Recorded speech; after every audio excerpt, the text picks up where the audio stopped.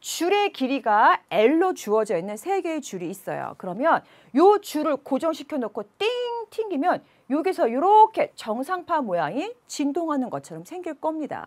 이때 줄은 양쪽을 고정시켜 놓으니까 양쪽에 있는 이 끝점은 움직일 수 있어요? 없어요? 없어요. 그래서 정상파에 마디가 형성됩니다. 모든 지점의 줄의 양 끝에는 마디예요. 그러면서 한번 기타 줄을 띵 튕겨보세요. 그럼 어떤 정상파가 생기나요? 그렇죠. 이와 같은 모양의 정상파가 생겨요. 얘가 가장 기본으로 생기는 정상파예요. 그래서 우리가 이것을 기본 진동이라고 부른답니다. 자, 그런데 요거 튕기는 진동수를 달리해서 튕기면요. 이런 모양의 정상파도 만들어져요. 그 다음 또 진동수를 달리하면 이런 모양의 정상파도 만들어진답니다. 자, 요렇게요. 선생님 이렇게 그렸지만 얘는 어떻게 되는 거예요? 이러한 줄이 그 다음에는 내려오고 내려오고 내려오고 내려오고 해가지고 이 제자리에서 진동하는 대표적인 것만 선생님이 그린 거예요. 자 그럼 먼저 이 문제가 나오면 여러분 요 세 가지 줄에서 만들어지는 속도 소리죠. 악기니까 우리 소리가 중요하잖아요. 소리의 속도 세 경우 그 다음 소리의 파장, 소리의 진동수 이 세 개는 항상 3종 세트예요. 꼭 기억하셔야 돼요. 그럼 먼저 A, B, C 모두가 다 줄이 동일해요. 자, 매질이 동일합니다. 그럼 뭐가 똑같다고 그랬어요, 선생님? 매질이 똑같으면 그렇죠. 파동의 전파 속도가 똑같아요. 즉 줄에서 만들어지는 정상파의 전파 속도가 똑같은 거죠. 자 그러면 파장 한번 비교해 볼까요? 선생님 정상파의 파장은 뭐라고 그랬어요? 한 점 찍고 쌓인 곡선 한 주기의 수평거리 이게 파장이라고 그랬죠.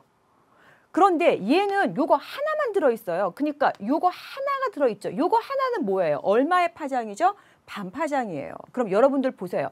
반파장이 요만큼, 반파장, 요게 반파장이에요. 그럼 반파장이 제일 긴 게 A니까 그거의 두 배인 파장도 A가 길겠죠. 이렇게 크기만 묻는 문제가 나올 수가 있어요.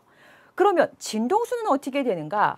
우리 파동에서 공식은 달랑 하나밖에 없어요. V는 F 람다. 매질이 똑같아서 속도가 똑같아요. 그러면 람다가 클수록 진동수는 작아야겠죠.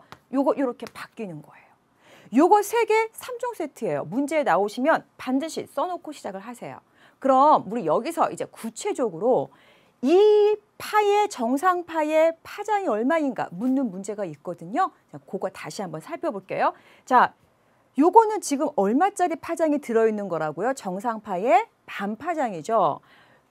S 자형, 즉 사인 곡선의 길이가 한 파장이니까 얘는 여기 어때요? 이게 하나 더 있어야지만 여기서부터 여기까지가 한 파장이 되는 거예요. 따라서 람다 A는 2L, 파장이 2L이에요.